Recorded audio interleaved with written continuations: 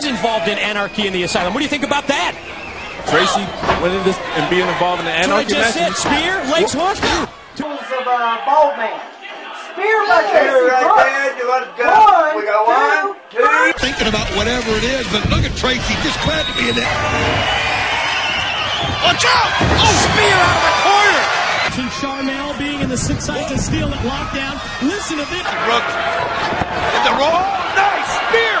She goes right after. I, I agree with ODB. She's got to come out full speed here. Speaking of full speed, oh!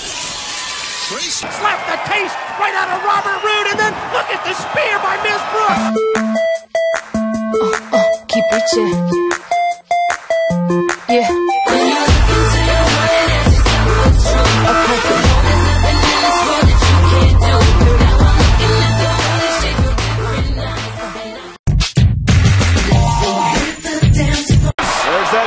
That strength you're talking about, King. What out of here?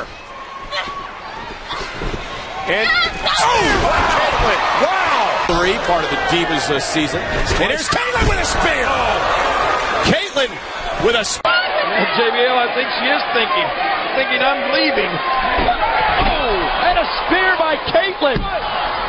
behind, you, behind you. And there's Kaitlyn. Kaitlyn with a spear. Taking out Eve. Turning her inside out. Which is a leg and back submission. Kaitlyn wise to avoid. Oh, The spear. Hold that. Kaitlyn. Inspiration. In this matchup for the Divas title. Oh, opening. Spear. Big time spear. The co-